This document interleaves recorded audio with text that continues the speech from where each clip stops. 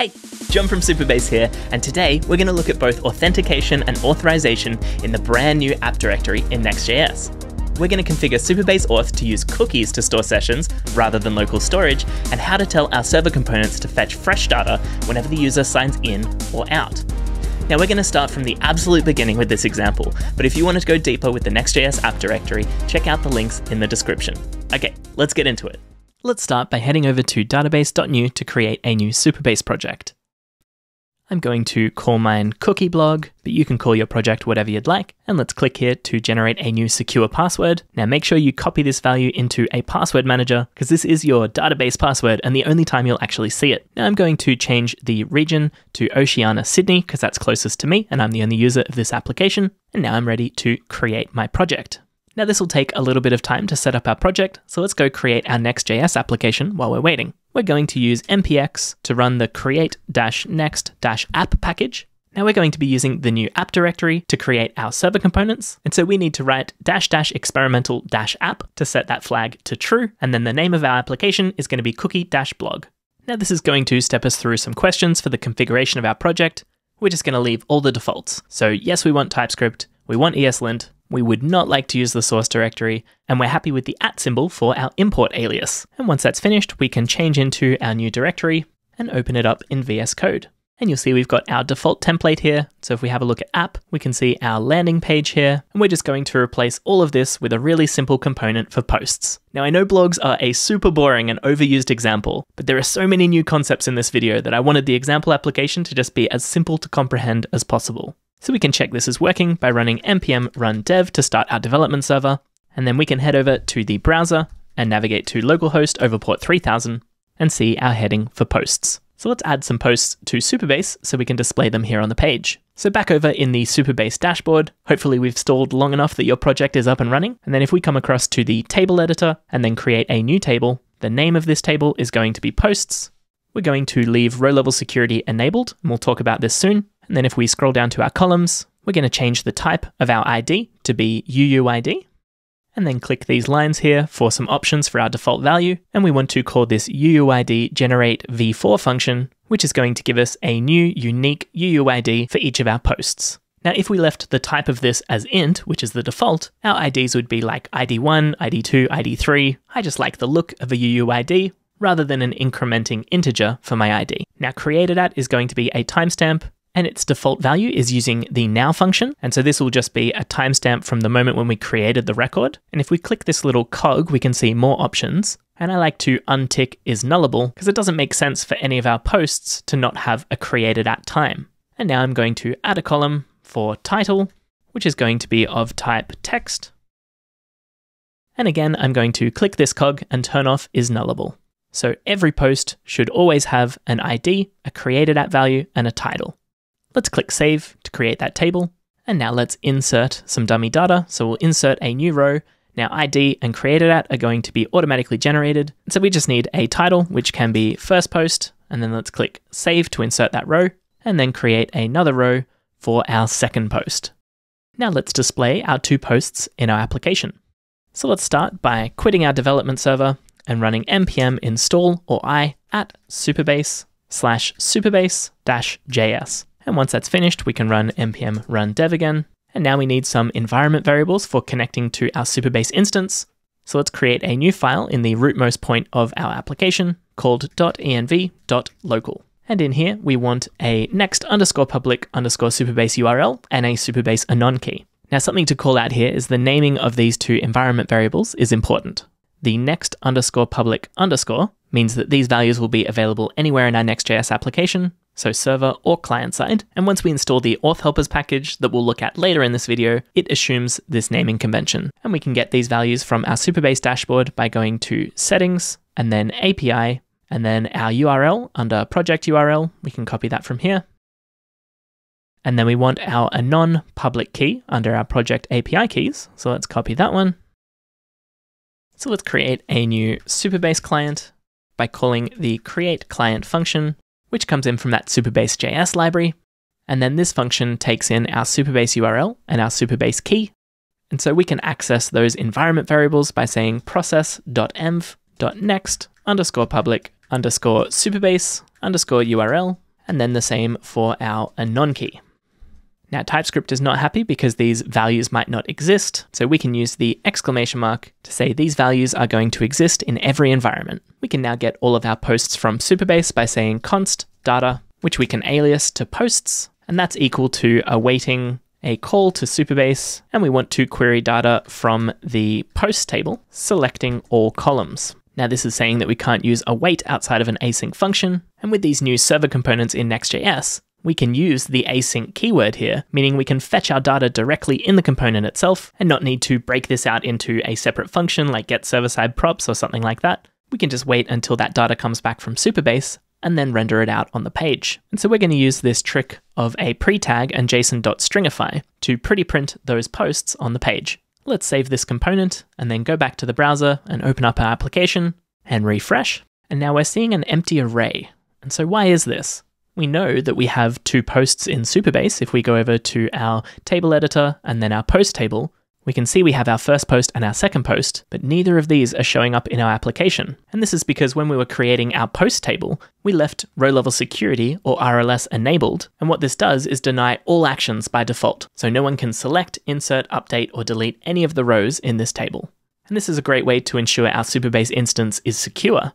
But if we want to enable one of those actions, like allowing our application to read all of the posts, we just need to write a policy. So we can either click this button here, or we can go over to authentication and then policies. And now we can see RLS is enabled for the post table, but we have no policies. So let's create a new policy. And there are some templates for common policies that you might want to write, but we're going to create this one from scratch. The name of my policy is going to be anyone can read posts.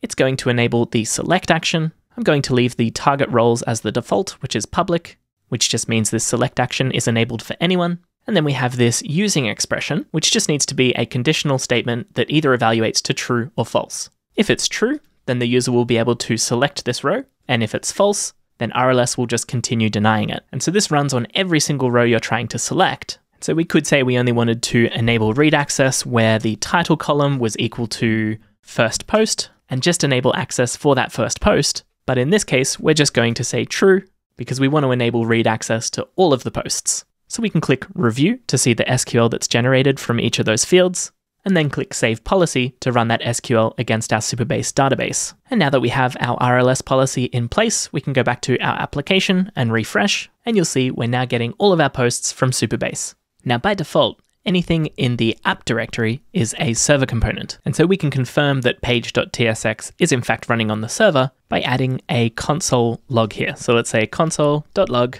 hello. Now if we go back to our application and open up the console and refresh, we don't see that message printed out. However, if we open up our server console, we can see the message hello is printed out. Now this is great for doing things like fetching data, because we no longer need a loading state while we're waiting for that data to come back from Supabase. But if we want to do client side things like sign our user in or out, or anytime we want to use a React hook, so anything like use state or use effect, we'll see that we can't use these in server components. We get this error saying you're importing a component that needs use state. It only works in a client component, but none of its parents are marked with use client. Therefore, they are server components by default.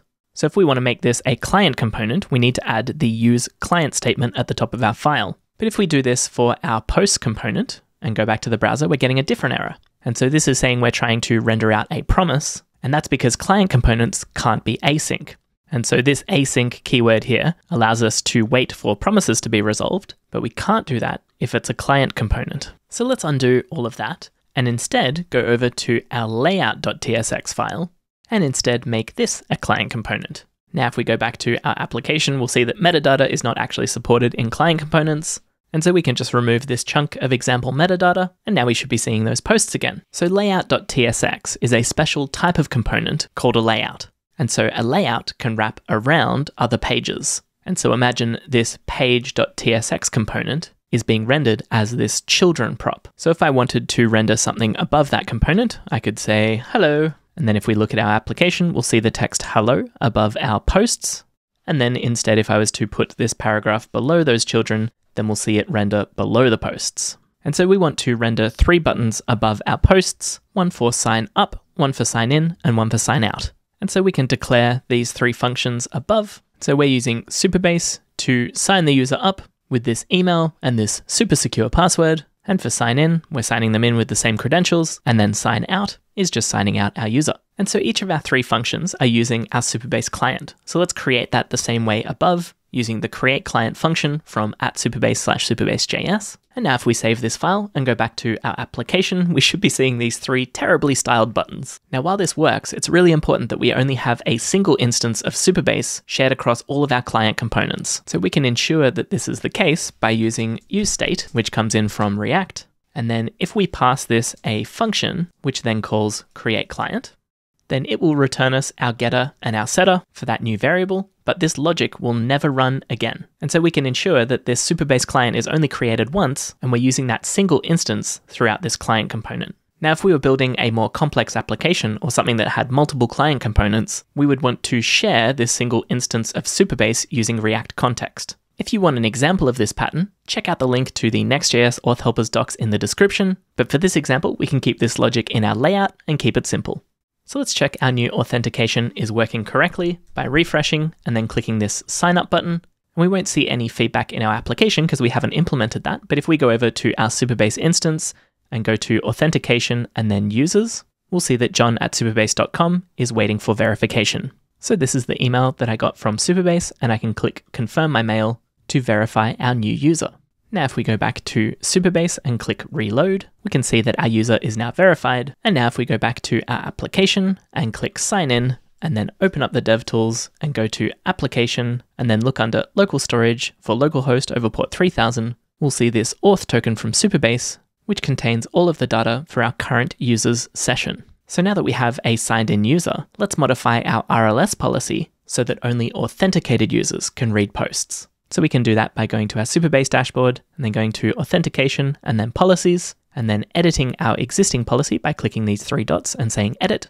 Now we can change our target roles from public to authenticated. And this means that this condition will only be evaluated for users who are authenticated. So let's modify our policy name to say authenticated users can read posts and click review to see how our policies are being altered and then click Save Policy to run that SQL on our Supabase database. Now we can see this applies to authenticated, so if we go back to our application, we can see that we're currently authenticated. So if we refresh our application, we should still be able to see our posts, but we can't. Oh no, what's happened? Damn you RLS!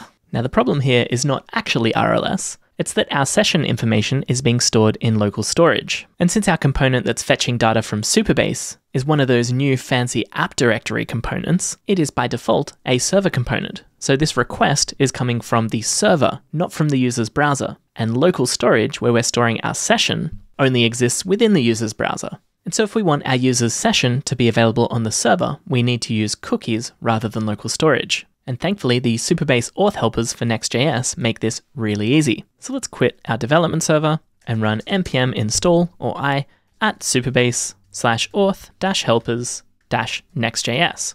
And now we can run our development server again. And then we want to create a new file at the rootmost part of our project called middleware.ts. And so this allows us to run some code for every route of our application. And so in this case, we want to export a function for middleware which takes in the request. We then create an empty response here and use both of those values to create a new Supabase client specifically for our middleware. We then call getSession, which refreshes the user's access token if it's expired, and then return the response, which will load our posts or whichever route the user is trying to navigate to. Now, the reason that we need middleware is that cookies in server components in Next.js are still read only. So the only way we can create or modify a cookie like set and delete is using middleware But that's a little bit of an under the hood detail. All we really need to know is when we're using the Next.js auth helpers, we need to create a middleware file that uses the middleware Supabase client to call getSession. Now we can refactor any of our server components to use the create server component Supabase client function,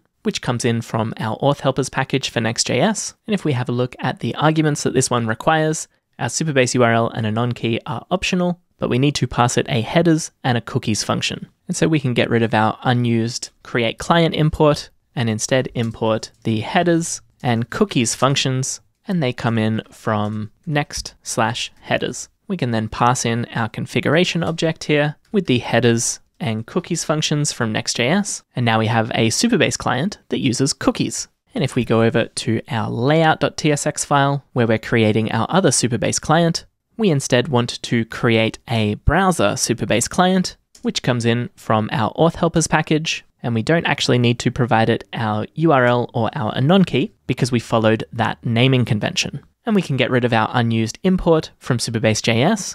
And now if we go back to our application and clear out the values under local storage and instead look at cookies for localhost over port 3000, now when we click sign in, we'll see our Supabase auth token. And if we click sign out, it will disappear again. And so now if we click sign in, so we have our auth token, and then we refresh the page, we'll see our two posts from Supabase again. So our session data is getting piped through to the server, and then when our server makes a request to Supabase, that session data is piped through. So then Supabase knows that our user is authenticated and our RLS policy says, yep, all good, because authenticated users can read posts, and so we see those posts in our application. Now, there's a slight bug that when our user's auth state changes, so when they either sign in or sign out, our server component has no idea that anything's changed, and so hasn't made another request to Supabase to either get those posts or an empty array. And so we need to refresh our application to see the correct state. And we can fix this in our layout component by using useEffect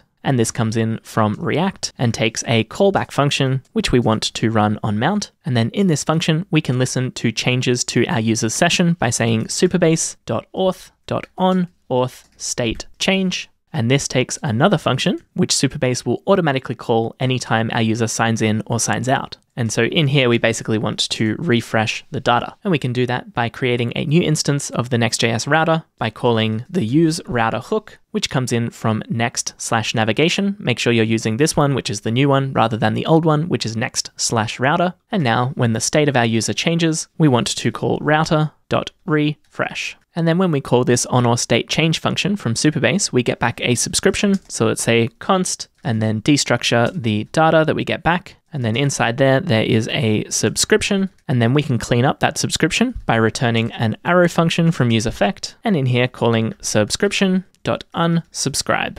And lastly, we now have an external dependency on Supabase and the router.